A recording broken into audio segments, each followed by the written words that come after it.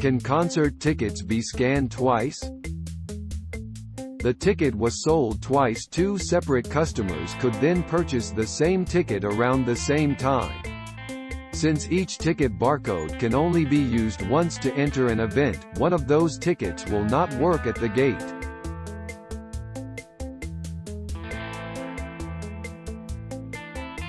Thanks for watching.